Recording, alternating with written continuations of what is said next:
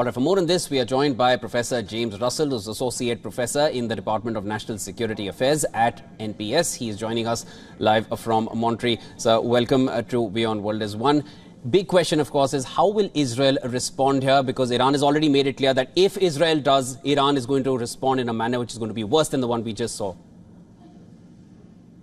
Well, uh, I, I, think the objective, uh, of course, and this is what we've been hearing in the news all day, uh, was world leaders uh, urging both uh, sides to restrain uh, any further escalation. I think it's clear that the Iranians um, view this as being an appropriate response to the Israeli uh, uh, attack on their consulate in Damascus. Um, and they have made pains to say that they, quote unquote, consider the matter closed. I think the question uh, sitting before us is, of course, the Israelis, uh, which is to say, what what are their calculations? Um, and uh, the Israelis have, for many years, uh, adopted a doctrine uh, which, in security studies, we would call conventional deterrence. Uh, which is to say, they seek to inflict unacceptably high levels of pain on their adversaries in an attempt to stop any attacks on them. So the question is, if if they are going to continue with this doctrine of conventional deterrence, what might come next?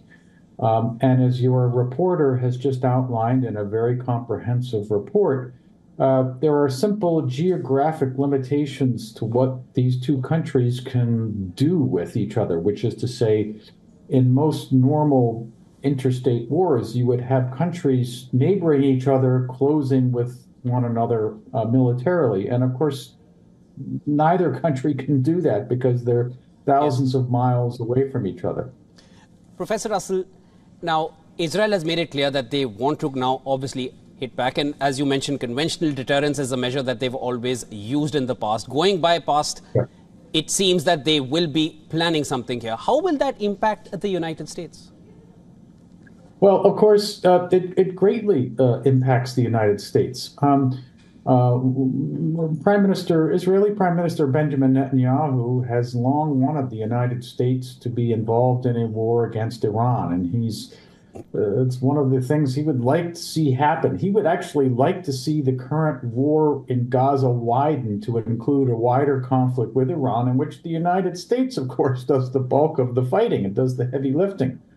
Um, now, the United States, up until this point, has successfully uh, avoided this.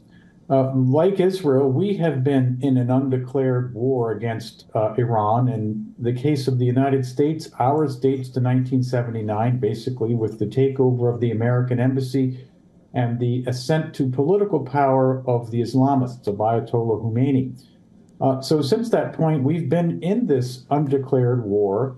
And successive American presidents have worked very hard to make this an undeclared war. In other words, to keep it from becoming an open shooting war. Um, and so uh, I think this is President Biden's uh, approach, as it was uh, by his predecessors.